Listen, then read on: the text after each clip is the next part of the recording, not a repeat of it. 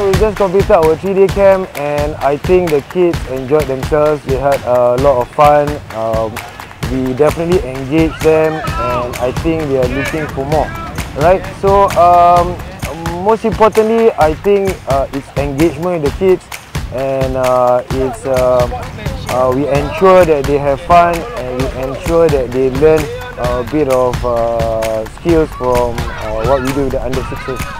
And most importantly, for under sixes, we are focusing more on how they dribble and how they keep the ball close and how they um, uh, manipulate the ball.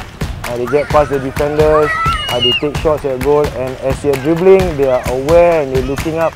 So I think um, engagement and education, we uh, we did alright. Okay, they had fun. Uh, they they learned a little bit about some basics about football, and uh, I hope they are inspired uh, to come again and join us. And we look forward also to have more sign-ups so that we can all uh, grow together.